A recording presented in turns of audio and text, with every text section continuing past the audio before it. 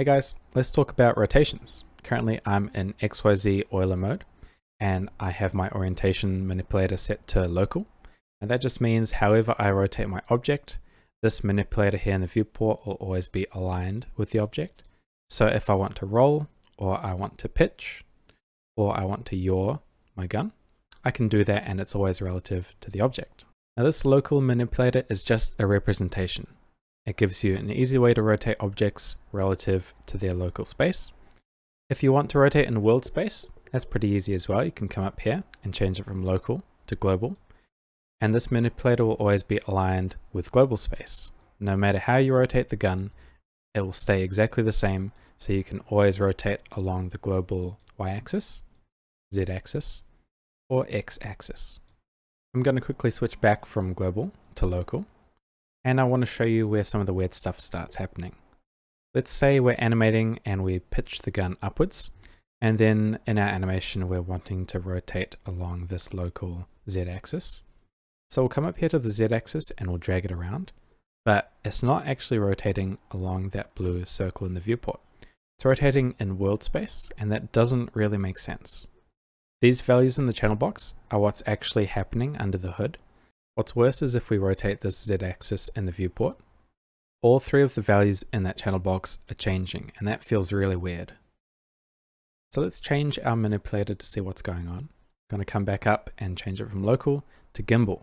So Euler rotations use a gimbal system, which looks a little bit weird here. But once I explain it, it'll make sense. Each axis is ordered based on your settings here. So currently it's X, Y, and Z, but it could be something else depending on the dropdown. What that means is the x-axis will follow the y-axis, and the y-axis will follow the z-axis, kind of like a parent-child relationship. So if I rotate this y-axis, you'll see the x will follow along with it. That means no matter what, however we animate, we'll always be able to roll the gun along the x-axis, which is pretty handy.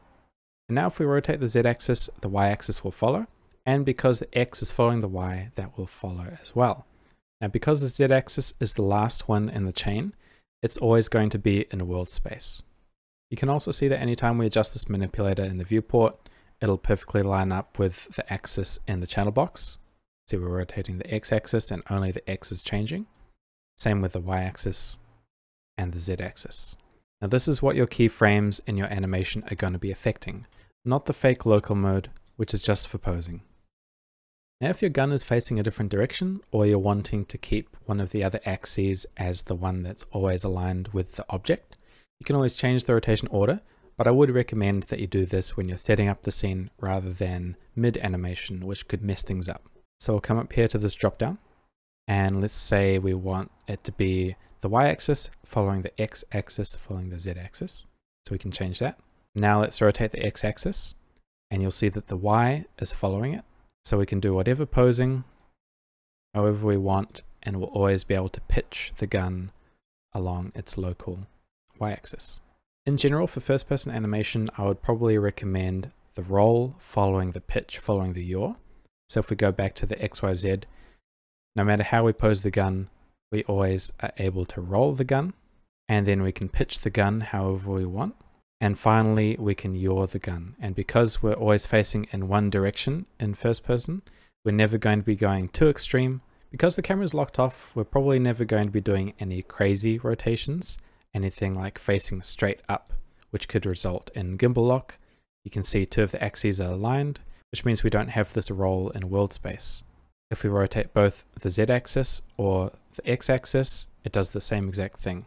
If you do plan on doing any posing where the gun is straight up, or you have some other kind of pose that results in gimbal lock, I would test that out while you're setting up the scene. And just make sure that you're using a rotation order that minimizes how much gimbal lock you run into. I'm going to pop on over into Maya. I've recreated the scene here, including the up axis being Z, same as Blender, just so I can show things off the exact same way. Right now, my rotate tool is in object mode.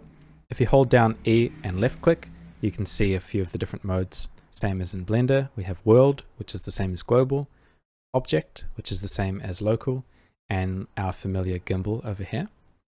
So in object mode, you can rotate and pose however you want, and the manipulator stays aligned with it. If we change to world, we can now rotate however we want and we'll always have the axes and world space for posing, which is nice and handy in certain cases. And finally, if we switch over to gimbal and we rotate this y-axis, you'll see the x follows along because we are in x, y, z as well. And if I come over to the attribute editor, come over to the locator, you can see in the transform attributes, we have our rotate order, which is x, y, z. And you can drop that down and change it as well. Say we want the y, x, z that we did in Blender. Now if we rotate the x-axis, the y will follow, and we always have that pitch for the gun locally. I'm going to change that back to XYZ. I'm going to set a key and go into the graph editor and just show you that if I move this y-axis key, you'll see the x will follow along. We can animate the x however we want, and we can also animate the z however we want. And it'll always line up with what you can see in the viewport with these axes in gimbal mode.